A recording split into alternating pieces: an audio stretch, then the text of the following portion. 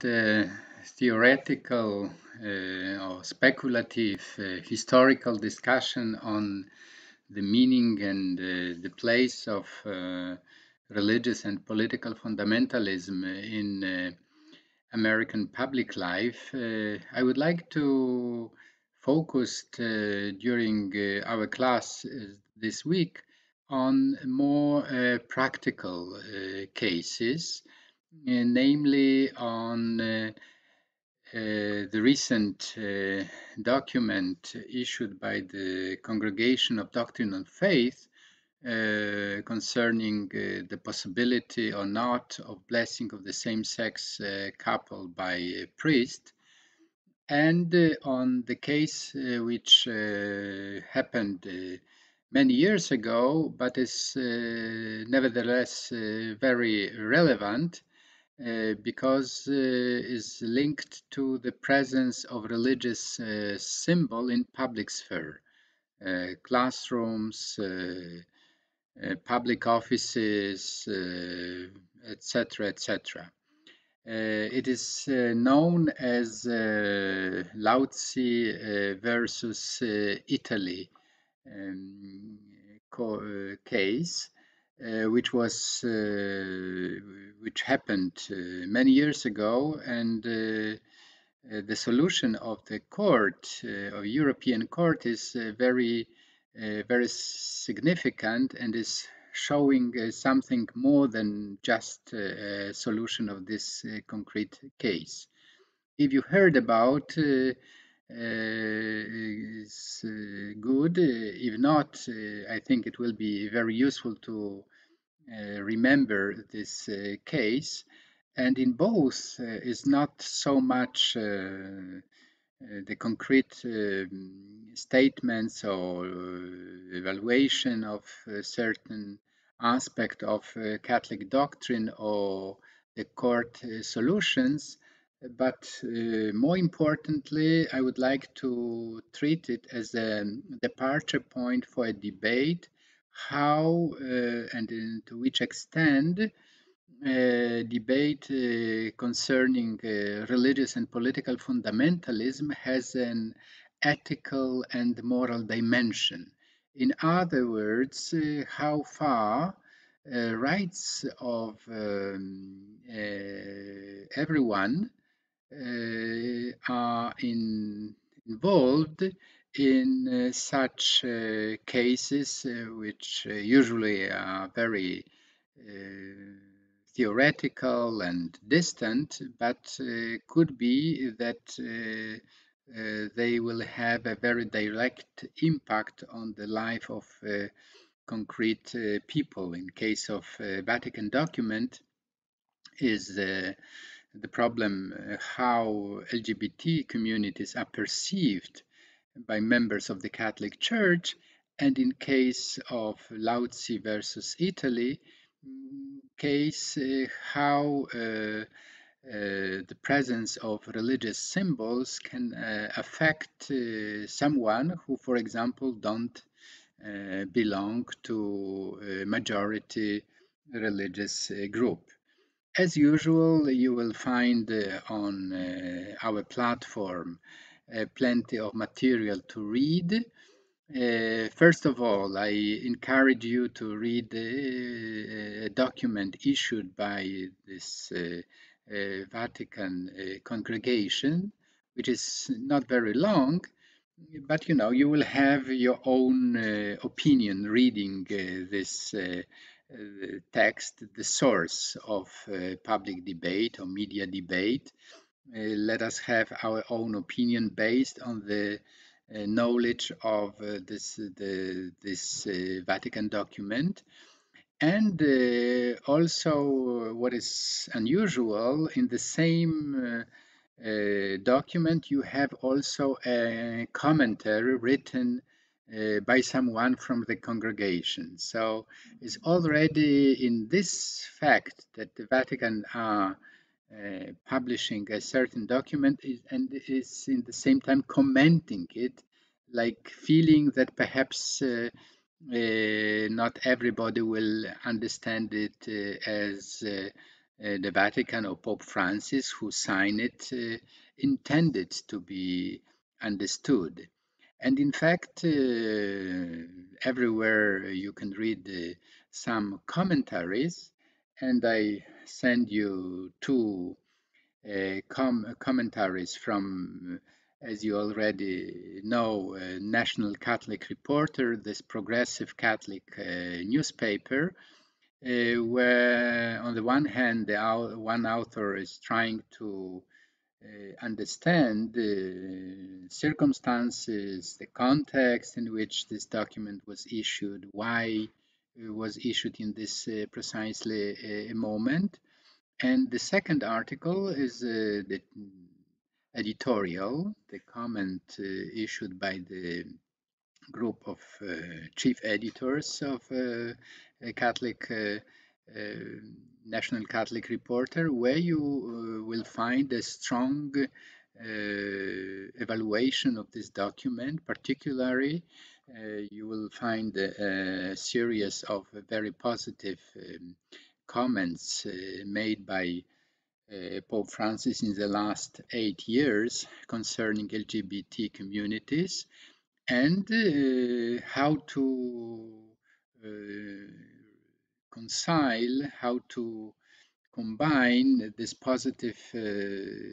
uh, expressions of uh, Pope Francis with this extremely negative document of the Vatican. And they use the word hypocrite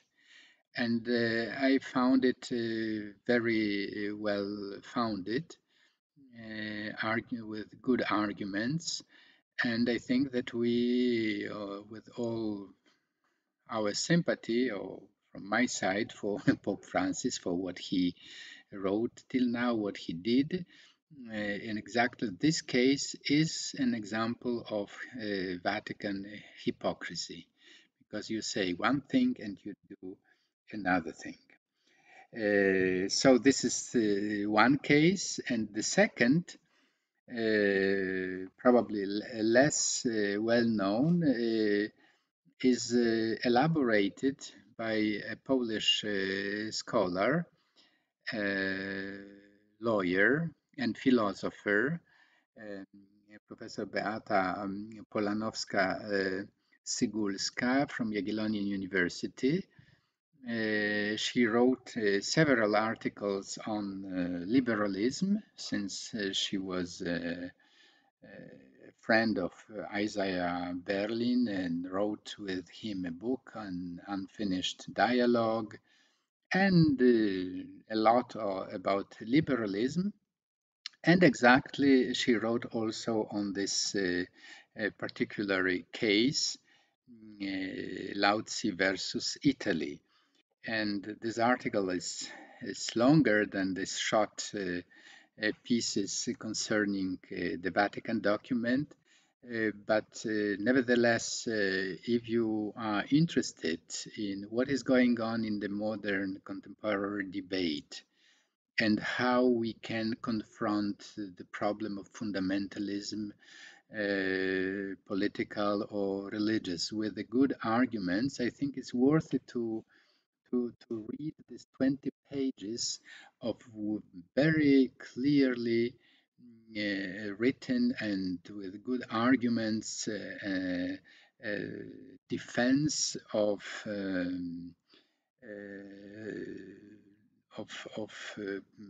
plural, uh, pluralism as a, as a value which we have to, to cherish, which we have to defend, which we have to defend also in the moment when fundamentalists are trying to impose their own view on uh, certain basic uh, mm, values of our uh, modern life. The, the, the, article was published uh, not so recently in 2019 and is entitled The Crucifix Dispute and value pluralism. Uh, and uh, this is uh, written, published in the German newspaper, and probably this is the reason why uh, Polanowska Cygulska um, started with a very recent discussion in Germany and concretely in Bavaria, where the president of this state in Bavaria uh, uh, introduced uh, crosses, crucifixes into public buildings in 2018. And you will be surprised that who was oppo who opposed this decision was uh, no less than the cardinal, uh, the bishop of Munich, uh, Reinhard Marx, mm, who explained uh, that from a religious point of view, from Catholic point of view,